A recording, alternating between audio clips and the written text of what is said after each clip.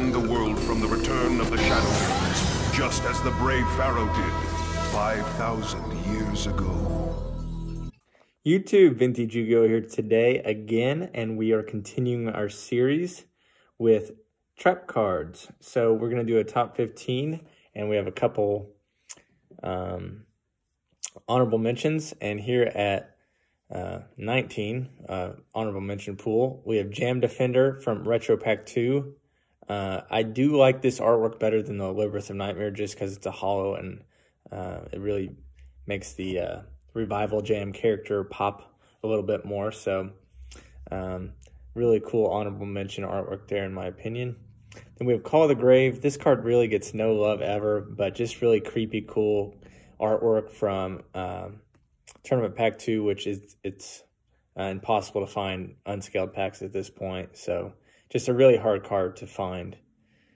And then another honor, honorable mention, just really creepy artwork there. We got the this skulls on the the hole here, and then this uh, looks like a Hitotsu-Me giant getting sucked sucked down in, or some some kind of monster.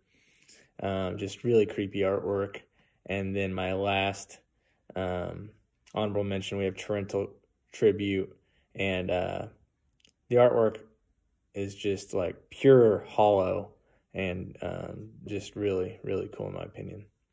So then we're going to get into the top 15. And at number 15, we have Anti-Raigeki. Uh, for a long time, this was a pop one card and um, has pretty good significance and um, meaning to me because, as you can see by this cert, it's a really old sub. And this was actually part of my first sub. So um, kind of has more meaning to me based on PSA's submission timeline than than any other thing. But really cool artwork here with the the kind of skull um, skulls and bones. So that was 15. At 14, we have Metal Morph. Uh, just love prismatics on really any card. So uh, Metal Morph made the cut.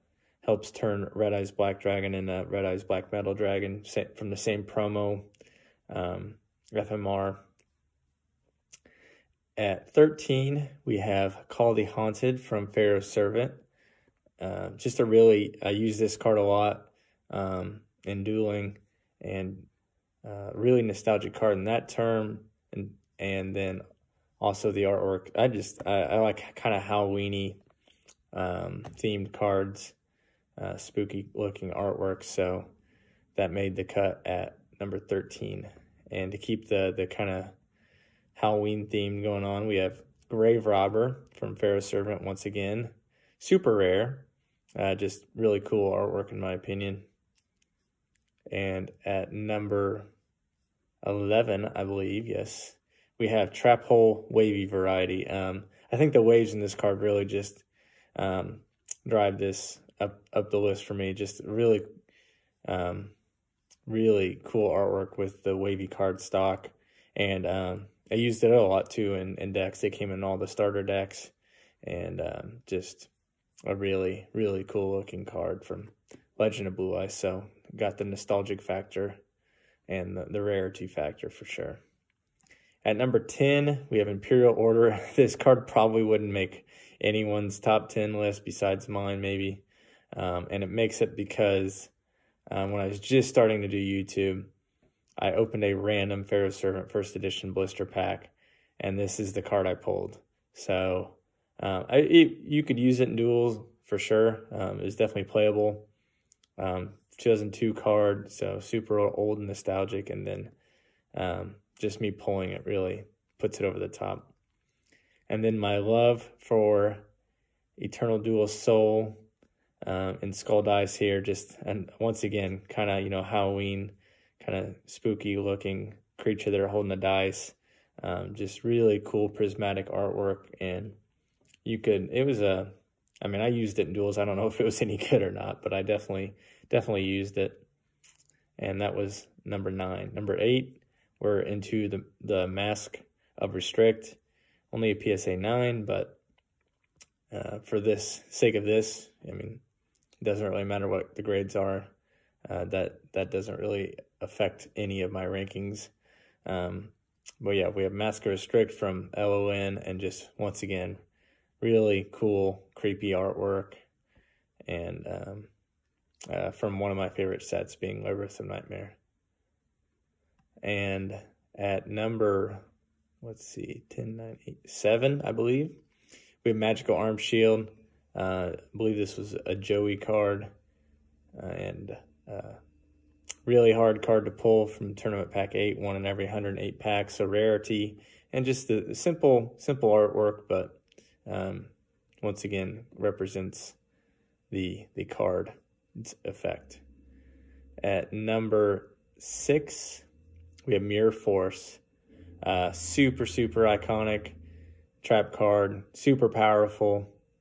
Um, you know, if this got flipped over, uh, you'd have have a hard time coming back in a duel. Uh, so just up there at number six for that reason. At number five, we have a Gold Series 1 Crush Card Virus, only because I do not own a Shonen Jump Championship Crush card, but uh, I do like the gold uh, on this card. It makes makes the makes it pop. Uh, so super super cool artwork there with the little virus in, the artwork. So that comes in at number five with Crush Card Virus. Number four, we have another Metal Raiders card with Solemn Judgment. Just a a cool cool artwork that uh, would be used in, in kind of desperate times, but definitely usable old card, and and the the artwork is just top tier. At number three, this is probably uh, def definitely one of my favorite artworks of any any card, regardless if it's Magic Trap, uh, a monster, just just really cool artwork, and uh, one of the few trap cards from Magic Ruler. So just really really good artwork. At number two, Magical Hats classic Yugi card. It was actually a Magic card in the anime, I believe, but he seemed to use this a couple times for sure. So really has that strong connection to the anime. And as you guys will see here, if I can get it on screen, I have an uncut sheet of Pharaoh Servant. So a lot of these cards on this sheet made the cut. So really, really cool item I have here. And uh, so Pharaoh Servant has a kind of a soft spot uh, for me. So Magical Hats came in at number two. And this probably wouldn't be a lot of people's number ones, but I've just, the, the secret rare artwork on this. Magic Cylinder. It just, just puts, puts this at the top of the list for me. And uh, usable card, definitely used in a lot of duels. And I got lucky enough to get this card a long time ago and add it to my collection. But uh, on today's date, Magic Cylinder is going to take the number one spot for me on trap cards. But easily could be a lot of these other cards with classic Pharaoh Servant cards or Metal Raiders cards. Um, but trap cards are kind of always slept on value wise. Uh, I think uh, Mirror Force is the most expensive trap card I own, and at most you might get two thousand dollars for it, which is crazy to say now, but there's a lot a lot of cards in my collection that go for more than that that are effects or magic or ritual or synchro cards. So hope you guys enjoyed this video.